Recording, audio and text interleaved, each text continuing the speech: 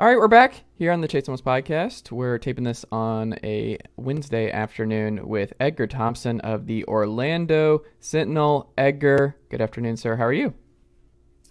Doing great, man. I actually didn't tell you this beforehand. I'm on day seven of COVID recovery. Oh no! First, first day, I actually feel normal, and actually might even take a little bit of a walk. Mm-hmm. And I'm a guy who like lives in the gym and all this stuff, so that'll tell anyone who knows me and knows that I have just I'm just thinking of taking a walk. Mm-hmm. Will would know this isn't anything to be messed with, man. I know everybody hears it, thinks it. It's it just what it's just a time suck, man. It's an energy suck. It can be yeah. a lot worse for sure, but it's uh, it's pretty draining, man. So be safe out there, everybody watching this. Yeah, I mean, absolutely. And it, the it's cases spreading, are, man. Yeah, it's it's up uh, here heading into June. Um, and as a runner myself, like I, I I know where you're coming from, where it's actually hard to get back and that kind of thing. It's it's not fun uh, to uh, fall out of that routine and fall out of that uh, just airspace that you you just don't occupy. You have to get it back, and it takes takes time. It takes what it takes. Uh, but it's also super hot, Edgar, and I just I it's a, we skip spring here in Knoxville. We just moved on, so now my runs I have to be really careful when I do it because man, it before you know it, it's just like that. It's 90, and I'm like, well, all right, I guess it's gonna be like a 7 p.m., 8 p.m. run tonight. We'll see how I'm gonna figure this out. But I don't know. Are you only the gym, or are you a runner too? Not really a runner anymore. But I'm more gym guy. Uh, but you know, I'm I'm big into circuits and things at this mm. point, so everything's pretty high intensity burst. So I will not be resuming those until I get back from Destin next week. But I will ease back into things. Hopefully, as early as tomorrow, I'd like to get in there and maybe just get moving around a little. But anyway, man, that was just a PSA there. The this thing is definitely spiking in this latest variant, and it's very contagious. The irony of it is, I caught it from a 90 year old friend of mine. Oh wow! Aren't we the ones supposed to be giving it to the 90 year olds? But she's doing okay. Her husband hit him pretty good. He spent five days in the VA, 92 mm. years old. He's okay though. So that's the good news. Is this thing's a slap in the face versus the Joe Frazier left hook that the earlier variants had been.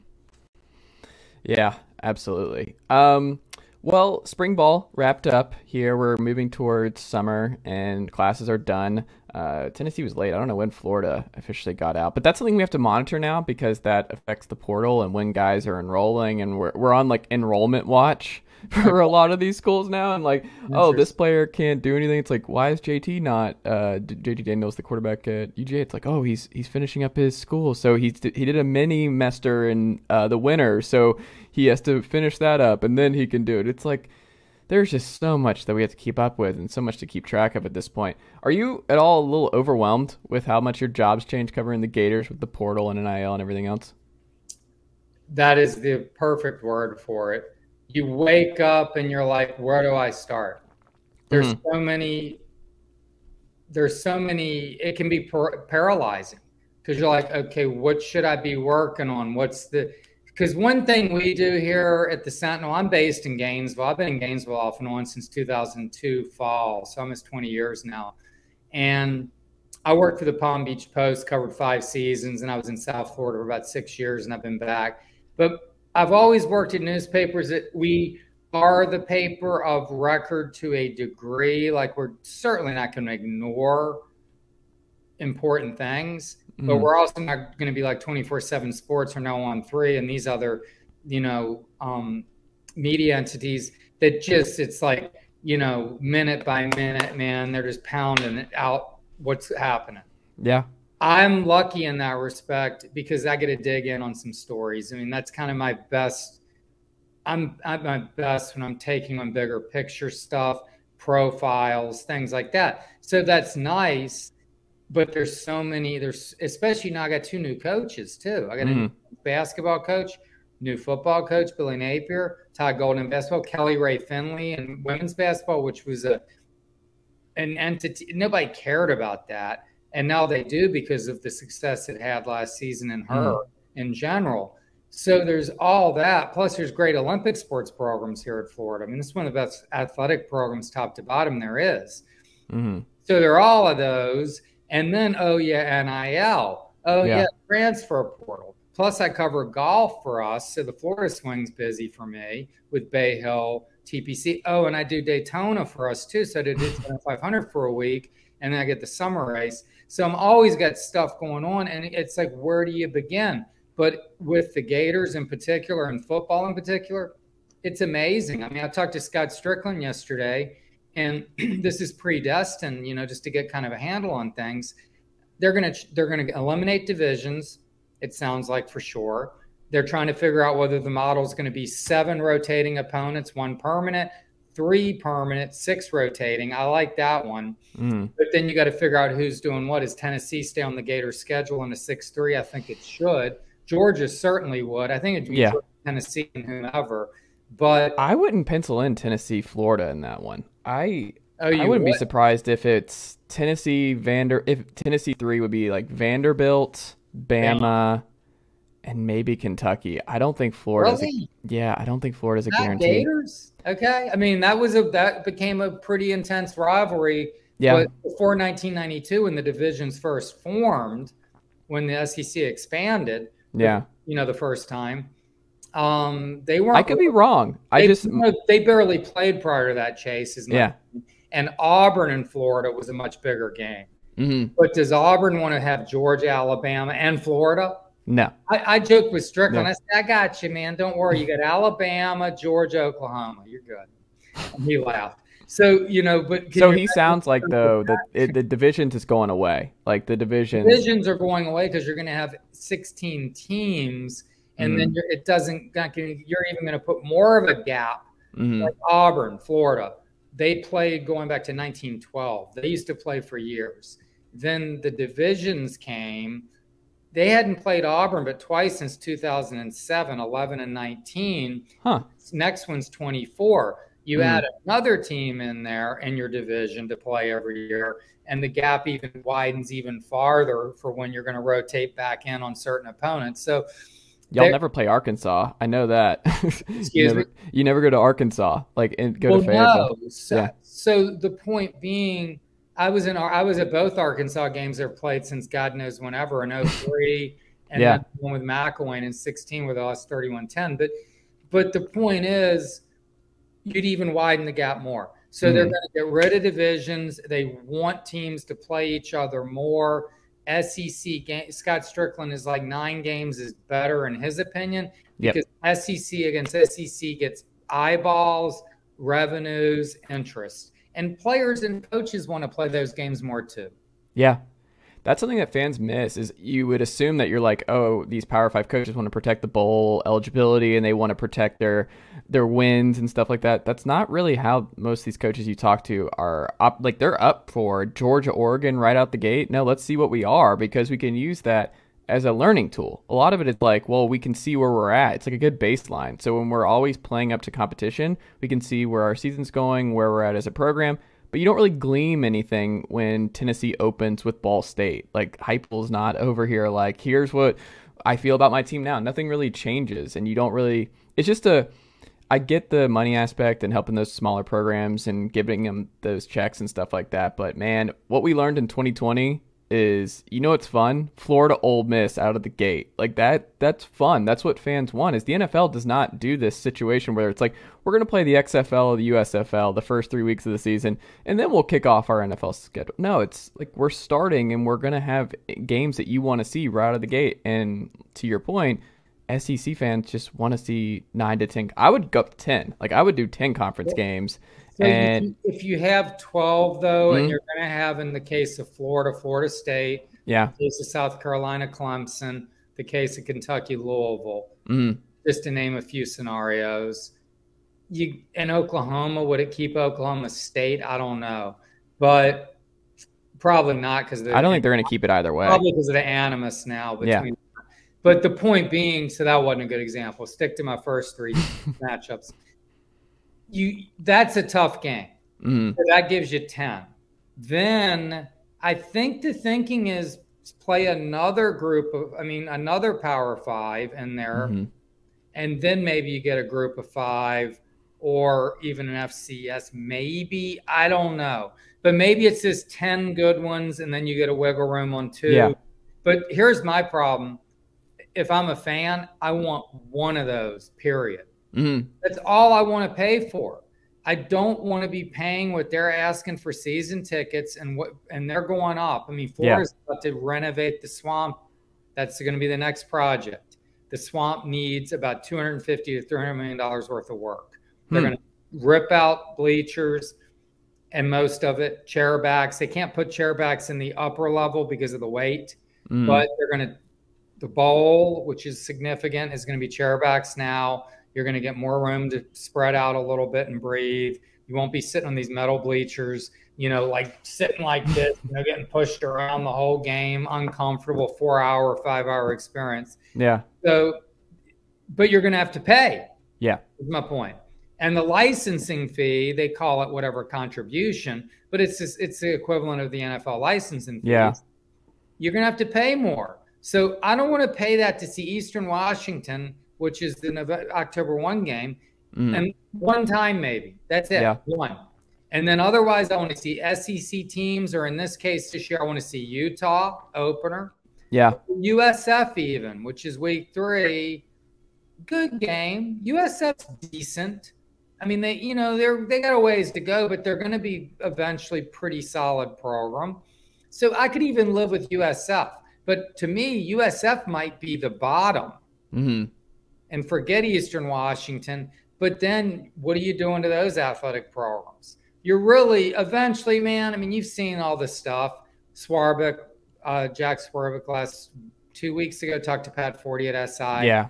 He said by the time the SEC and the ACC and all these deals come up, the TV deals in mid 30s, they're going to be breakaway. But then, but then what do you get there? And then back to Scott Stricklin there might already be thoughts in the SEC of breaking away a little bit. That SEC playoff model is a dumpster fire. That needs to be ended at the door. Like that is not where we need to go whatsoever. Like I agree with the Power Five uh, only and the Power Five switching away because it's just the money. It's not the same. There's no if you expand the playoff and you go to 12 teams, whatever it is, they don't have the bodies to withstand a perfect season and then win three Power Five games in a row. It's just it's not realistic. They don't have the players. They don't have the fun. It, will never happen. There will never college football was never built around the group of fives making this kind of amazing run and winning an, a national title. They're not playing the same game anymore. The boosters aren't the same. The NIL opportunities aren't the same. It's just two different worlds. But man, the that would bum me out if we did an SEC They're, national championship. Happen. It's posturing. Yeah, I think Sankey's just like, okay, if you guys don't want to come to the table, mm-hmm. realistically talk about a 12 team playoff that's going to benefit all the leagues mm-hmm. and pr- present an opportunity for group of five schools, also the better ones, which mm-hmm. ultimately are going to end up in some conferences right. as things go. Um, then what are we doing here? We'll just go do our own playoff. Problem is, how do you leave out Lincoln Riley, USC? How do you mm-hmm. leave out Mario Cristobal? Miami. I, that team, that program is going to get better. Mm-hmm. How do you mm-hmm. leave out Ohio State? How do you leave out Clemson? Mm-hmm. How do you leave out Oregon if it can continue forward with Lanning, which I think it will? And the list goes on Penn State, Michigan. How are you leaving out those schools? You right. can't, but you can leave out probably a decent chunk of the ones that are in that mix. Mm. So I don't know, man. I mean, I come from Richmond. My dad loves UVA football, and I have a bunch of friends that went to UVA. UVA not being in, in that whole mix, I mean, it's not going to be the end of the world for college football. Would probably be for Virginia. But anyway, the main point being, I don't think that it's going to be an SEC only deal, but they have leverage. Right. Because they can make a pretty dang good playoff in the SEC. I mean, people will watch. Mm people in a certain part of the country will watch. Maybe not uh, across. you're right. Yeah, I agree. Um, I don't think it's a smart move. Yeah, well, we'll see what happens. There's still a lot to be decided at this Oh, yeah. point, and I don't think it's going to be decided anytime soon. It sounds like there's going to be a lot more fighting and a lot more uh, crawling to the. They're just they're trying to do one step at a time. Like let's get NIL, let's get the portal, let's.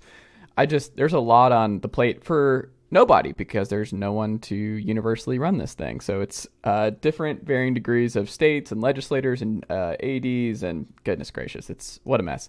Um, is the quarterback competition still open, Edgar, at the University of Florida? I mean, Anthony Richardson won the job during the spring game if he hadn't already had it. Jack Miller, the Ohio State transfer, was garnering some interest, you know, outside, you know, the program. Mm. Behind closed doors, we're not sure. Practices are they're closed beyond closed, honestly. I mean, you get to see a little bit of a window at the beginning, but you can't discern anything there. hmm So we saw the spring game, excuse me. And Jack Miller looked pretty erratic, and Anthony looked transcendent for two series at least. And and then from there was okay. But he made enough of a statement those first two series where you were like, okay. He looked very in control, made quick reads, very accurate throws. And there was one instance, I think, where he ran, which is one of his great skills. And you were like, you know, nobody's beating this guy out. Now, mm. the reality is he's going to have to stay healthy, which he wasn't able to do last season. He's a big bodied kid. He's 6'4, 237 ish. He is so almost so powerful for his body that you were talking about running, Mm. you know, or whatever. I mean, I exercise. You can only put so much stress on those joints, no matter how young you are. And when he's just the explosiveness of a guy that size and strength, he almost like pulls things. I was Mhm. never fast enough to pull a hamstring. Well, he is. He's powerful. And so they got to monitor how his body, you know, reacts and things. And I know they're really digging in on the details and the data of how to do that and monitoring him because they got to keep him healthy. And it's going to be interesting because he's going to be carrying such the offensive load because he's really the one true playmaker on that offense you can rely on. There are a few others that could emerge, but he's the one guy. And he needs to be the real deal for this team to make headway because the schedule's brutal, man. Mm. And the offense is new and guys are going to be learning. And they really don't have a whole lot of playmaking capability at this point. It's interesting. They're opening with. Have they ever played Kentucky this early? Like week two? Oh, yeah, they play Kentucky in week two often. Is it week two? Why did I always think it was like later in the season? It's than that? often week two or three, but Three. the one they lost to Mullen, when Mullen lost, you Yeah. That was week two when Marco Hmm. Wilson blew his knee out in 18. They played him in week two with McElwain and 16, beat him 45 7 here, really. Yeah. beat the doors off Stoops. Otherwise, that has been, they beat him pretty soundly in 2020. Other than 16 and 2020, that has been a tough game Mhm. ever since Mark Stoops has been there, other than his first year. So three out of whatever the ten meetings against Mark Stoops, it's been a pretty legit game for the Gators, and they're been lucky to win a number of them. So that's a tough week two game. And you follow, it's just two physical teams back to back, two well coached physical teams right out the gate, which I love. Now, uh, as a Tennessee guy, like I love that just uh, heavy blows to the Florida Gators uh, right out the gate. I like that. But like you said, their schedule's tough, but I don't know. I wish Tennessee could get if we could slide in to week three instead of week four because I'm so tired of playing Florida in this early in the season. I'm so tired of it, Edgar. That's one of the things we move on. Like if we played Florida last year at the end of the year versus the beginning, it's I think a totally different story. It, and Certainly is. and That was Florida's best game last year, probably. Emory was unstoppable. It's just third downs. He was converting over. He was just uh, death by a thousand paper cuts, is what Dan Mullen did to uh, Tennessee in that one. But um, I'm I'm very curious because Vegas likes Anthony Richardson and they like Florida uh, in year one with uh, Napier, and I'm just I'm very curious to see how this it? goes. Uh, what'd you say? I saw betteronline.org has this over under six and a half. I'd set it at seven and a half personally. I, I wouldn't take six. Well, FanDuel had them as like the fourth best odds to win the SEC this uh, upcoming year. FanDuel, I think, had them at number four. Okay. So they're It's basically like if Georgia doesn't win the SEC East, they have Florida as the next up to win the East, which is I I don't. don't buy that. Well, until Tennessee does it, until Tennessee just uh, expels those demons in Knoxville, and I, I just the the Well, I don't even know if I buy it Tennessee. I don't know. I don't know who it is, but it's oh, who hard. do you have the number two, Kentucky or South Carolina? I just don't know. It's hard. Look, any of them. Mm-hmm. And Florida, let's say all four of them, throw them in a hat. But here's the thing: is Florida's schedule though is the issue there. Yeah. Florida start open as we talked about. That September's brutal. Utah at home, Pac-12 champ, Kentucky. hmm Kentucky's got some questions to answer, but but they're also always physical. They're a well-coached team, and it's a solid program now that's recruited pretty well, especially at Kentucky, very well. USF, athletic. They'll have some guys, Brought in the Baylor quarterback. And they're be- gonna be better hmm than last year. Jeff Scott, I think people think's a pretty good coach, and he's the program's improving. I mean, it, it was such a mess when he took it over. hmm And then you go to Tennessee. I mean, that's September for you. That's a rough September. Then you get to October. I think Missouri's the you get Eastern Washington. I think Missouri, I believe. Missouri with Drinkwitz is not a it's a good, it's a solid program. Okay, maybe not. Forget them. Then Mhm. you got LSU though. Yeah, they're the huge wild card. I have no idea what to make of LSU. My argument was in LSU by Yeah. week, Georgia at A and M. So That's you got rough. That three game stretch, and then you got that three out of four game stretch in September, and and you got South Carolina coming up in there too. It's like it's just it's a rough schedule, man. So to think Florida's going to finish second based on the schedule, to me is, you know, in six and a half is the over under. I would still probably take the over, but if it were seven and a half, I'd probably take the under. Meaning, I think it's about a 7 1 team here. Well, I think a lot of it depends on what Richardson is. Like if Richardson's healthy for go. 12 games and he's a Heisman type guy, that changes everything and changes how we look at Florida completely. Indeed. Um, so well, that's just a, a big wild card. I'm curious, as someone who's covered them both, who, what are some early differences between Napier and Dan Mullen for you? Dan Dan was kind of I mean he's very very bright and Dan knows he's very very bright and which is fine. I got along fantastic with Dan. I don't even mm-hmm. mean that like it comes off like negatively, but he was very confident in his intelligence, his opinions, his vision. Uh, with the standalone facility that's going to be completed here in the next month or so, Dan had lots of input in that. Uh, he was telling the architects how to do things. That's how he is. He's kind of that smartest guy in the room guy, and he Yeah. often probably is. Well, Billy is a little more humble there, but you can tell he's very bright. The thing with Dan, though, is that intelligence level. And I'm not the smartest guy in the world, but I've always been kind of quick with things it leads you to a fly by the seat of your pants mentality, which is great. It's very well suited to journalism where you Mhm. get deadlines and you got something forcing you. And there's some days where, you know, you can kind of let a loose end or two fly and then you recover. You can't do that when you're running a college football program. And I Mhm. think that Dan, like, he, he thought he could scheme, game plan, play call you, adjust on you, and beat you like that and develop Mhm. and he was really good at it. So the recruiting apparatus, the overall organization at the you know foundational level, I think had some creakiness to it, and he wasn't pushing for the support staff to the level Billy Napier is. The organizational effort was different. Billy has like 65 people on staff, man. And he apparently comes into meetings. He writes everything down. I never saw Dan with a piece of paper barely. Billy's Huh. always got a notebook. You go in his office, he's got books here and there. He had piles here when I went in and interviewed him one time. I'm like, what are those? Oh, and he's like, well, this is February of 2019. Here's February of 2020. Here's February 2021. And he's like, I'm looking at what we did each of those years and how we improved each year, what we learned from each year. And now there we were in February, of course. And now he's figuring out how I'm going to learn from all those missteps, mistakes, and things we did well too for this February. So he hyper organized. Um, and then he would come, he comes into meetings apparently, walks in the room, looks at his list. 60 people are packed in a room, like shoehorned in the room. And he's like, okay, recruiting, blah, blah, blah, blah. All right, promotional, marketing, blah, blah, blah, blah.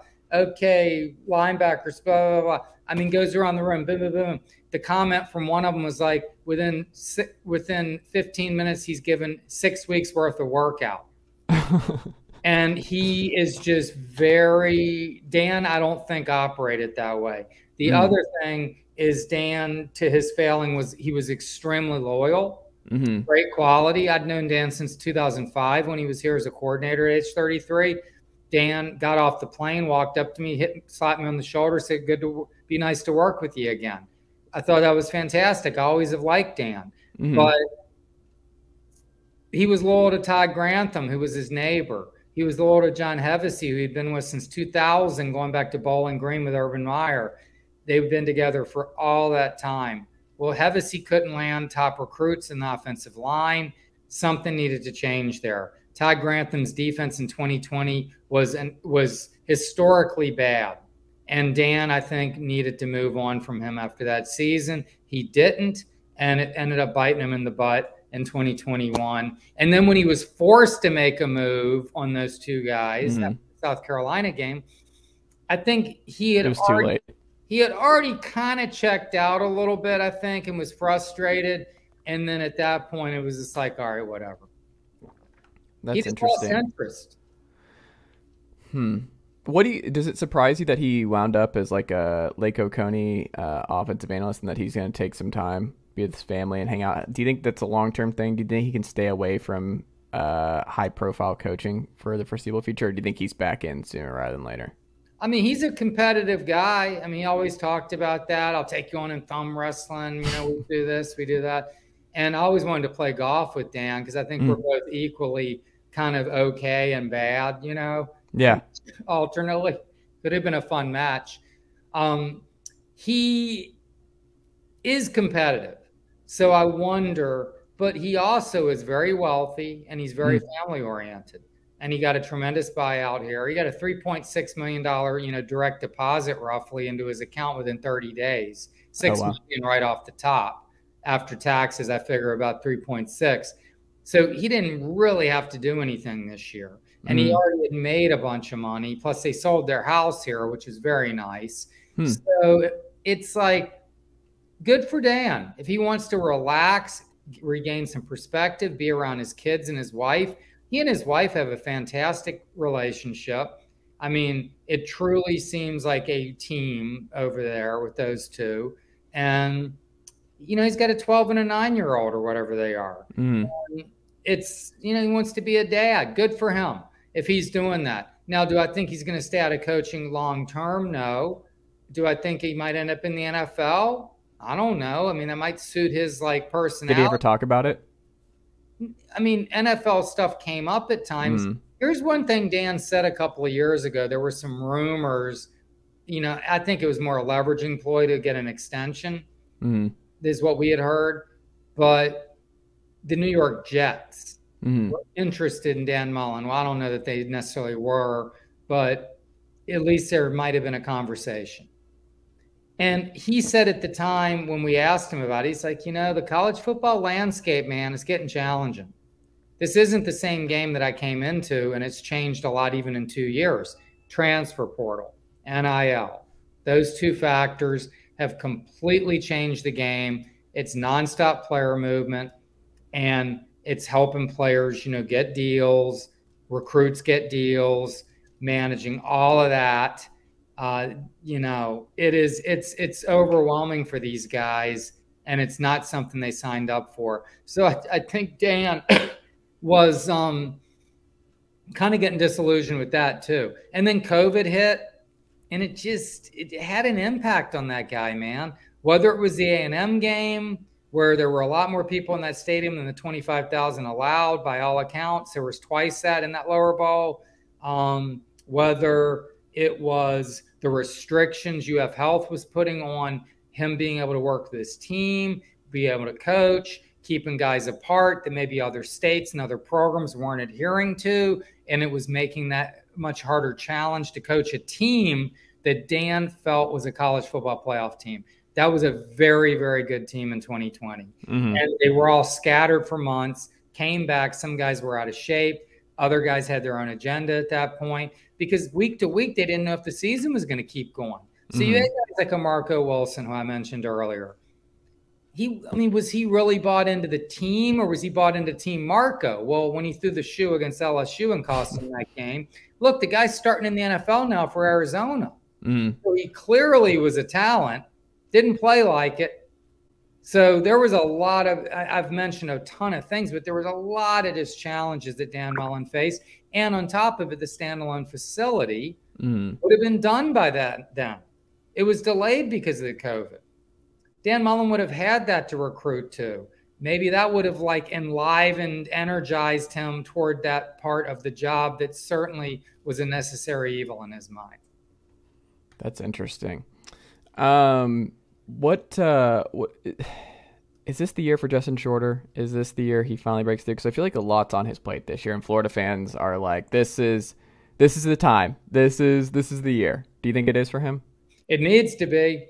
Mm-hmm. Uh, the kid was the number one recruit in 2018 at receiver, eighth in the nation overall. Went to Penn State, didn't really do much. I think he was dominant at the high school level because of his stature. He's a big kid. He's mm-hmm. 6'5 ish, 225, 230, wins the ball in the air, strong physical kid. The problem with him is separating in coverage. Um, that's the problem with this entire receiver corps. Trent Whittemore, nice route runner, good slot guy, not going to stretch the field on you usually. Um, mm. Xavier Henderson, who was a top 75 recruit out of Miami, CJ Henderson's brother, does not have CJ Henderson's speed. He doesn't really separate tremendously himself. They have some others that are in that kind of mold.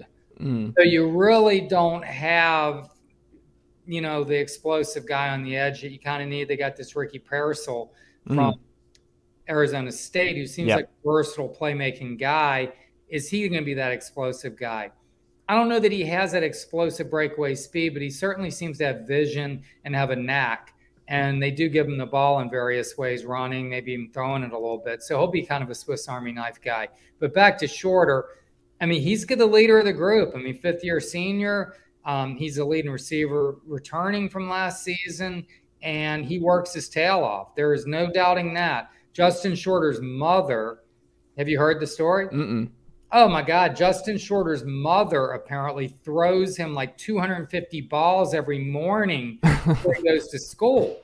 And I'm like, I mean, it's a crazy story. I've been trying to interview his mom for like two years. I mean, she has a gun apparently, and she's just tossing the ball to him 250 times, and he works his tail off at practice and after practice. So this guy is putting his hand on a football hundreds of times a day. It's like a guy, one of these range rats, like a Lee Trevino at 500 balls a day or something. Mm-hmm. He is that kind of a guy, but does he have? Does he have it? We'll see. He's a good piece to have, but mm-hmm. is he a number one SEC receiver? I mean, he thinks he is, and he's going to have the chance to show it. He hasn't yet. Hmm. Well, we'll see. I I'm curious about that, but like so the running games, it's funny. The Florida is just becoming like a silent, like just solid. They just keep putting in these running backs in the NFL. Like there, it's been a collection of guys uh, of late that have come through uh, Florida and did not put up eye popping stats at Florida, but everybody liked, and they were like, "Oh, this is an interesting guy, whether it's Perine or whoever," and they're just now NFL guys. But you have Montrell Johnson who comes in from Louisiana. He follows Billy Napier is he someone that was turning heads a little bit in the spring? Is he someone to watch that like this guy is probably not on anybody's radar yet, but Napier is going to use him a lot. Napier is going to maybe use him a lot to save Richardson from a lot of those runs to keep him healthy. He he's not uh, he's on everyone's radar now mm-hmm. for sure. Uh, he stood out in glimpses during the spring when we got the chance to watch a little bit, mm-hmm. and then he had a pretty nice spring game I mean, it was like 13 and 55, nothing eye popping, but he showed balance. He showed power. Um, you know, he, he, vision. I mean, he mm. showed the things you want to see. I don't know what kind of pass catcher he is. I liked a pass catching element in my running backs personally. Dameon Pierce really improved in yep. that aspect. I, in fact, it was a big selling point to the NFL was his ability to catch the ball, which was kind of crazy given he had rocks for hands when he first got here. He worked hard at that, mm. and uh, but the intri- the intriguing part of this running backs room to me is more Demarkcus Bowman, the five star hmm. from Lakeland who went to Clemson, came here, did nothing yet. Mm-hmm. His knee in the spring before last season, so who knows what he was nursing there. Lorenzo Lingard, the recruit from Miami, Orange City, Florida, which is an Orlando area, um, you know, town. Mm-hmm. He's an explosive kid and a physical specimen. I mean, just chiseled. This kid looks like a world beater, mm. but he hasn't done anything yet. Then you have Nay'Quan Wright, who's shown a lot of wiggle and versatility and playmaking ability in spurts. So mm-hmm. you got a lot of options there. I don't know how you use them, how you deploy them, who you turn to, who gets the ball first. Um, a lot is going to come down to this offensive line once again. We've been talking about the offensive line question marks for years. Mm-hmm.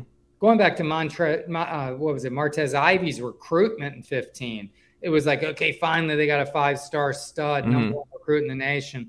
Didn't pan out. I mean, he started a lot of games, but he was not a dominant offensive lineman and those lines struggled often. The 18 line did a pretty good job. They had good offensive balance that year. I think it was 214, 213 pass run, but they have not been close to that kind of balance since then. And Napier wants balance and he wants to run power football. Mm. This is going to be a different kind of football. This is not going to be, oh, yeah, let's light it up like Steve Spurrier. You realize Steve Spurrier's team scored 50 points or more 48 times? That's astounding his offenses, if you go look at the record books in Florida, I mean, just some of the numbers some of his offenses put up were astounding. Especially for the time and the era. Oh, he was amazing. We know that. Bill, Dan Mullen, Urban Meyer had some amazing offenses with Tim Tebow and Percy mm. Harvin, which would have been hard not to with those two guys, but still. And then Mullen, he put out some pretty good offense. And I'll tell you, that 2020 offense was special mm. with Pitts, Toney, Trask, Grimes um, you know, he did a nice job with Perine and Scarlett in 2018 mm-hmm. with the balance team I mentioned.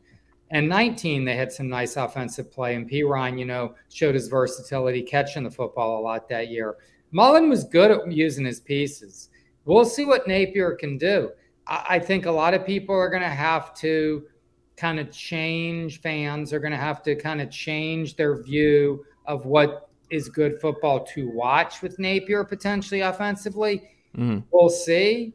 But if it's winning football, they'll love it. Yeah, and we'll see how much it's interesting. We'll we'll see with the schedule what they can do. But if Richardson's a guy, if Shorter pops this year, if Montrell Johnson and the Clemson transfer, if they pop, like there is a path to Florida being above, uh, finishing above expectations, and then bouncing back. There is a path. It's not like there's a dearth of talent in Gainesville uh, for this fall. Like it's no. just you just don't want to put this these kind of crazy expectations on a year one coach, and it's just a totally different situation, different scheme, different staff. Um, it's a tough schedule. So we'll we'll see what happens there. Is there a position group for you uh, that you think that scares you the most heading into this fall? Is there like one that stands out as like this is pretty on offense? Either, yeah. Well, to your point, though, I think the expectations on Billy are going to be fair because I think people do look at the schedule mm-hmm. and look at what Dan Mullen left because there was recruit, recruiting, um, you know, erosion, let's mm-hmm. say, as as time passed. Um, I do think that the area I'd be most concerned about if I'm them is interior defensive line. I mean, mm-hmm. Dexter seems like he could be pretty good. He's not a guy who's going to work well against double teams, though. You single up with him, and he's pretty special and mm. very talented kid. They need some guys to take keep the flies off of him. I don't know who it is. I, I don't know who they have interior line wise. I should know um, a little bit more names, but just no one really emerged. I mean, it's like, you know, I'm looking. I wrote the Athlon preview um, for the Gators, and I'm trying to see who we have in there. I mean, it's just like, you know, who lines up beside him is anyone's guess, I said. Now, mm-hmm. Brent Cox Jr. on the edge. Uh, another thing, I mean, they need someone else to kind of draw away all the attention. The mm-hmm. linebacking corps has a few intriguing pieces. Ventrell Miller back for a sixth season because of shoulder injury. This Diwun Black kid, who was a JUCO kid, who was a 2019 signee who came through the JUCO ranks. He's pretty intriguing, man. This guy was a high school defensive back mm-hmm. early on. He had 12 picks for 300 and some return yards and, and three pick sixes when he was a sophomore in high school. Mm-hmm. I mean, mm. that's amazing numbers, like Ed Reed type stuff and now he's a linebacker, and he gets his hand on the football a lot. He he makes his presence felt. They cornerback wise, you got Jason Marshall. I think he's trending. You got the Georgia transfer Jalen Kimber, intrigued there. Um, you know, Kamari Wilson, the five-star recruit, they kind of I don't want to say stole, but convinced to come here instead of Georgia at IMG. These are some potential pieces. You have some experience in trading Rashad Torrence, but it's they're just holes everywhere on that defense, but particularly that interior defensive line. And then on offense, my two concerns are where's your explosiveness, playmaking, as I've stated, but also offensive line depth.